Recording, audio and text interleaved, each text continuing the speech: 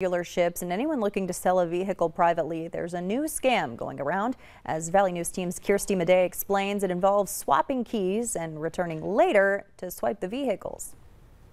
Not a matter of if, but when that this might happen here. Captain Bill Alfeld urges the public to be cautious. He says there have been reports around the country of scammers using fake keys to steal cars. The scammers use or make keys that match the make and model of the vehicle listed for sale. Then they make arrangements to test drive the vehicle, and when they return, they give the fake key to the dealership or owner, keeping the original key.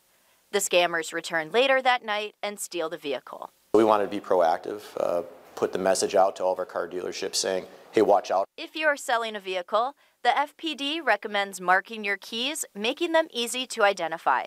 It is also a good idea not to allow anyone to test drive your vehicle without accompanying them. Online sales have grown more and more popular, and Captain Alfeld recommends using a public place to make transactions. We have many places in, in uh, Fargo that you can go in the public. We actually have uh, a place like that at one of our substations at 25th Street and 13th Avenue South where there's a camera. You can exchange there or meet there. Reporting for Valley News Live, Kirsty Madej.